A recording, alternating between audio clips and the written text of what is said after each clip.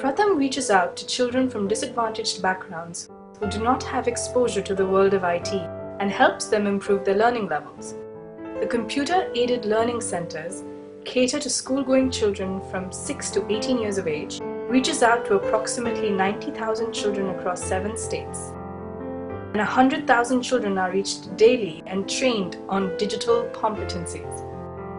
Running the computer aided learning program costs £5,000 a year, where the cost per child is £9. Your contribution will go a long way in helping children learn well.